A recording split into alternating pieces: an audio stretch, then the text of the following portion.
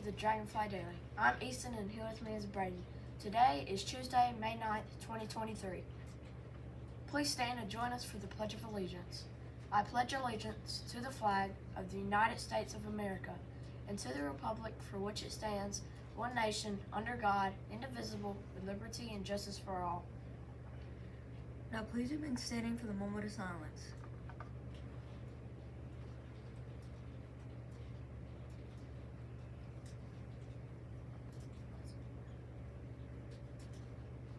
Now please be seated.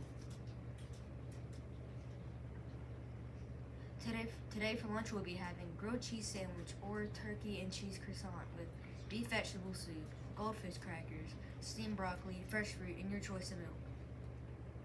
Today's weather for Lancaster, South Carolina should be a high of 73 degrees, a 3% chance of rain.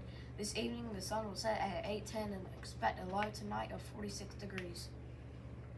Happy birthday to Justice in Miss Wood's class and to Joe in Miss Bradley's class. Do your best on state testing today. Let's show the world how awesome we are at. MGE.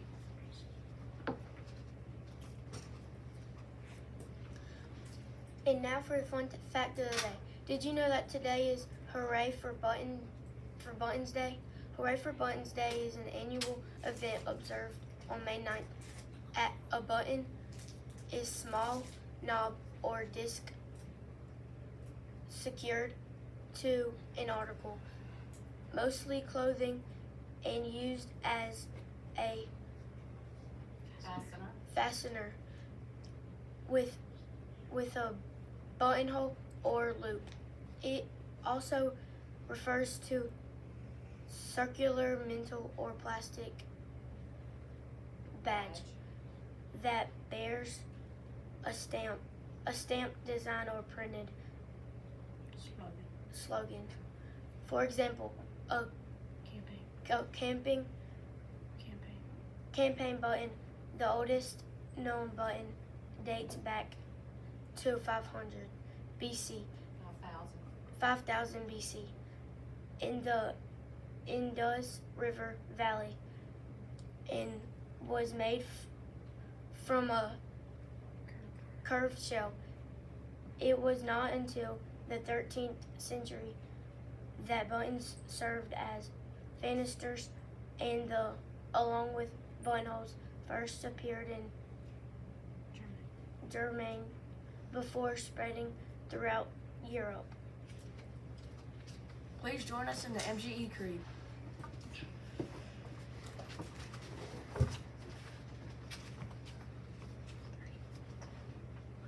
Today is a new day, a new gift. I can choose to use it or throw it away.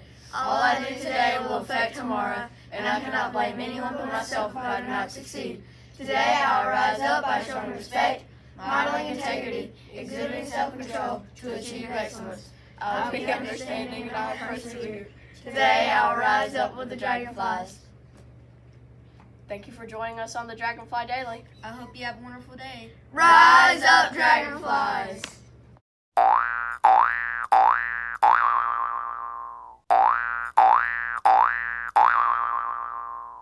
What's your name? Wyatt. Wyatt, and what do you think someone describe you as? By um doing cool stuff. Cool stuff? What's your name? Megan. Logan. And what do you think someone would describe you as? A nice person. A nice person. What's your name? Caleb. Caleb. And what do you think someone would describe you as? Funny. What's your name? Mahogany. And what do you think someone would describe you as? Pretty. Pretty. What's your name? Aaliyah. Aaliyah. And what do you think someone would describe you as? Hmm? Beautiful. Cool. Miss Ballard, Miss Ballard. And what do you think someone would describe you as? um, outgoing and adventurous.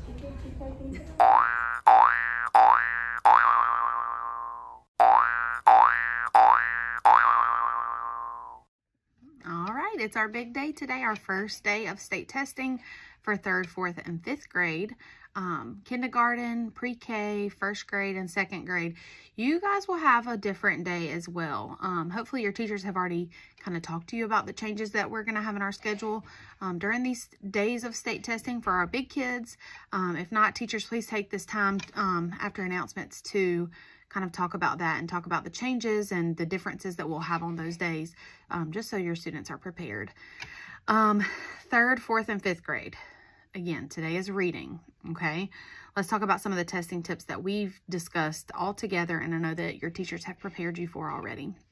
Remember, there are going to be long passages, okay?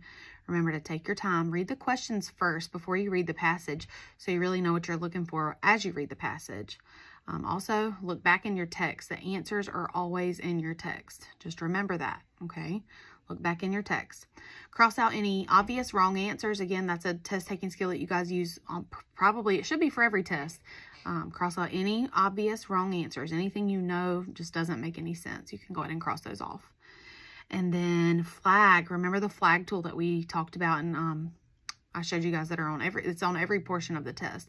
Use your flag tool when you need it. If you've tried and tried and you've used all the strategies and you can't quite figure it out, flag the question so you can come back to it. Because if you keep kind of spending too much time on it, you're just going to get really frustrated.